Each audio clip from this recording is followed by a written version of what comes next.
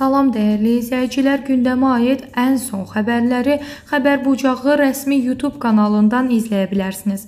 Kanala abunə olub videoları bəyənməyi unutmayın. Xəbər verdiyimiz kimi Naxçıvan Mahmudkənd kəndinin ağsaqqalları yas mərasimində ehsanın ləğvi barədə qərara gəliblər. Bu barədə sakinlərə müraciət ünvanlanıb. Bildirilib ki, kənd əhalisinin birgə qərarı ilə 10 09 2023-cü il tarixdən yas mərasimlərində 100,7 40 və il ehsanlarının verilməsi ləğv edilib. Hər hansı bir şəxs bu qərarı pozarsa, həmin mərasimdə heç kim iştirak etməyəcək. Milli Məclisin deputatı Fazil Mustafa Cepinfoya açıqlamasında buna münasibətini bildirib. O deyib ki, bu olduqca cəsarətli addımdır, normal təşəbbüsdür, çox önəmli cəsarətli addımdır.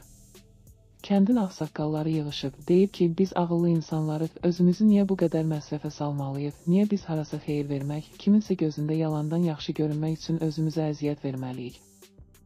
İnsan həmişə belə olmalıdır. Azərbaycanda insanlar özlərinə aid olan məsələlərin heç birində düşünmürlər. Düşünmə problemi var. Düşünəndə görərsən ki, dünya insanlarının yaşadığı formada çətinlikləri aşma imkanın var. Toydur, yazdır, böyük problemdir, sıxıntıdır. İnsan düşünsə, cadı ilə özünə əzab verməklə din yaşayarmı? Düşünmür də. Düşünməyən insan bunu edir. İnsanın yası düşür, ancaq kimi yola salım, kimi necə qarşılayım deyə məşğul olmağa başlayır. Halbuki insanın kədəri, dərdi var, öz dərdini çəkməli, insanlar da ona kömək etməlidir. İnsanlar da kömək əvəzinə ona yük gətirirlər.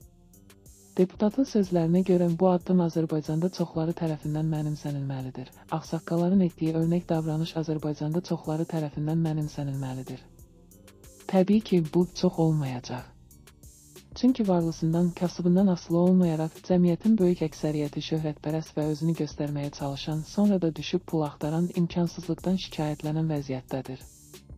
Ona görə də bizim cəmiyyətə tam tətbiq etmək mümkün olmasa da, müəyyən insanlar belə qərar qəbul edə bilərlər. Bu da işlərini yüngülləşdirər. Ona görə də bu ideyanı dəstəkləyir, çox faydalı, yerində atılan addım kimi qiymətləndiririk. O deyib ki, yas mərasimində ehsanın verilib verilməməsi ilə sosial təbəqələşmə yaranmamalıdır. İnsanın fərqlənməyi bilikdən elmdə olar. Yeganə bizim xalqdır ki, yeməyin azlı və ya çoxluğu ilə özünü qürur mənbəyinə çevirib. Filan yerdə bu qədər kabab yedik, filan yerdə bu qədər yeməyi art-arda yedik, 10 növ yemək yedik.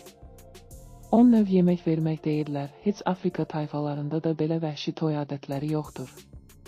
Yeganə Azərbaycandadır. Ona görə də biz bundan qurtulmalıyıq. Qurtulmaq üçün də maarifçilik boş şeydir. Bizə maarifçilik yerimir ki.